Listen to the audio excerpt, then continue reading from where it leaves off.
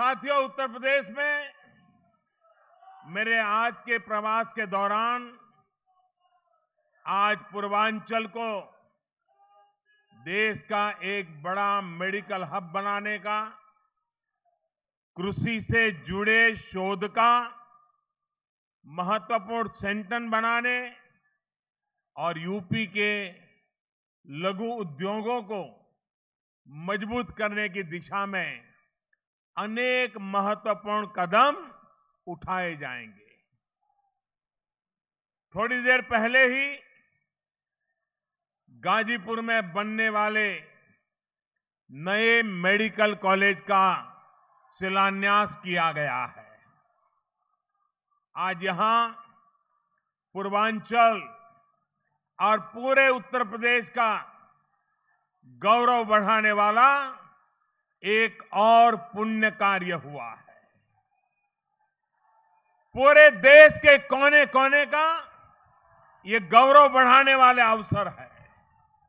हर हिंदुस्तानी को अपना देश, अपनी संस्कृति, अपनी महापुरुष, उनकी वीरता का पुनः स्मरण कराने का एक पुण्य कार्य आज यहाँ हुआ है। महाराजा सुहेल देव की शौर्य गाथा देश के लिए उनके योगदान को नमन करते हुए थोड़ी देर पहले उनकी स्मृति में पोस्टल स्टैंप जारी किया गया है। पाँच रुपए की कीमत का ये डाक टिकट लाखों की संख्या में देश भर के पोस्ट ऑफ़िस के माध्यम से देश के घर घर पहुँचने वाला है। महाराजा सुहेल देव को, उनके महान कार्यों को, हिंदुस्तान के हर कोने में, हर घर में पहुँचाने का एक नम्र प्रयास इस पोस्टल स्टैम्प के माध्यम से होने वाला है। साथियों, महाराजा सुहेल देव देश के उन वीरों में रहे हैं जिन्होंने माँ भारती के सम्मान के लिए संघर्ष किया। महाराज सुहेल देव जैसे नायक, जिनसे हर वंचित, हर शोषित प्रेरणा लेता है, उनका स्मरण भी तो सबका साथ, सबका विकास के मंत्र को और नई शक्ति देता है। ऐसा कहते हैं कि जब महाराज सुहलदेव का राज था तो लोग घरों में ताला लगाने की भी ज़रूरत नहीं समझते थे। अपने शासन में उन्होंने लोगों के जीवन को आसान बनाने, गरीबों को सशक्त करने के लिए अनेक कार्य किए। उन्होंने सड़कें बनवाई, बगीचे लगवाए, पाठशालाएँ खुलवाई, मंदिरों की स्थापना की। और अपने राज्य को बहुत ही सुंदर रूप दिया।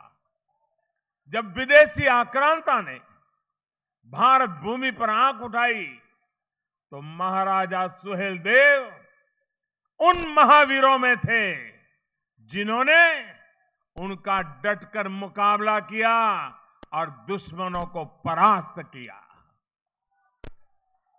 उन्होंने आसपास के अन्य राजाओं को जोड़कर ऐसी संगठन शक्ति उत्पन्न की कि दुश्मन उनके सामने टिक नहीं पाए।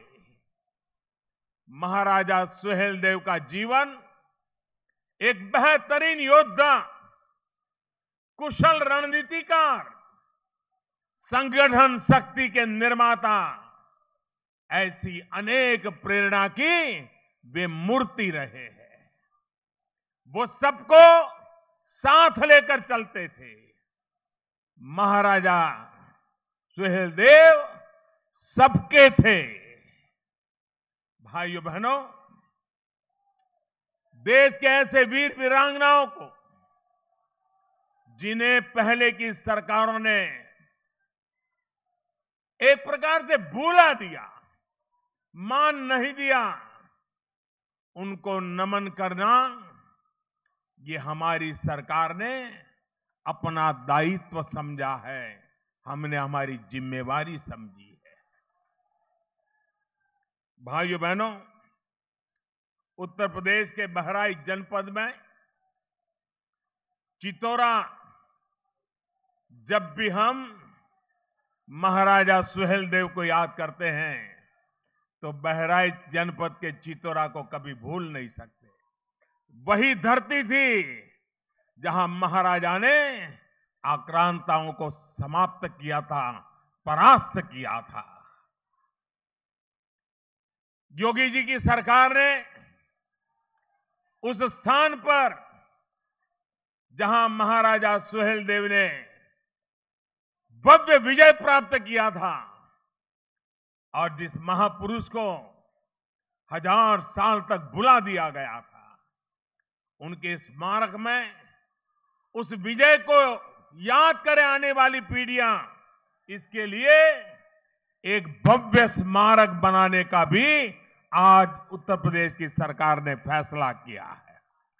मैं उत्तर प्रदेश सरकार को राजा सुहेल देव के स्मारक के लिए, इस कल्पना के लिए, इतिहास को पुनर्जीवित करने के लिए हृदयपूर्वक बहुत बहुत बधाई देता हूँ। और महाराजा सुहेलदेव से प्रेरणा लेने वाले हर किसी को देश के कोने कोने में प्रेरणा मिलती रहे, इसके लिए शुभकामनाएँ देता हूँ। ये भारतीय जनता पार्टी की अगुवाई वाली केंद्र सरकार का दृढ़ निश्चय है कि जिन्होंने भी भारत की रक्षा, सुरक्षा, भारत के सामाजिक जीवन को ऊपर उठाने में योगदान दिया है उनकी स्मृति को मिटने नहीं दिया जाएगा। अपने इतिहास, अपनी पुरातन संस्कृति के स्वर्णिम पृष्ठों पर धूल जमने नहीं दी जाएगी। साथियों, महाराज सुहेलदेव जितने बड़े वीर थे, उतने ही बड़े दयालु और संवेदनशील थे। संवेदनशीलता के यही संस्कार हम सरकार में, व्यवस्था में लाने का भरसक प्रयास कर रहे हैं। केंद्र और यूपी सरकार पूरी ईमानदारी से ये प्रयास कर रही है कि गरीब, पिछड़े, दलित, शोषित, वंचित, पिछड़े, हर प्रकार से समाज का ये तबका सशक्त हो, सामर्थ्यवान हो, अपने हकों को पाकर के रहे, ये सपना लेकर के हम काम कर रहे उनकी आवाज़ व्यवस्था तक आसानी से पहुँचे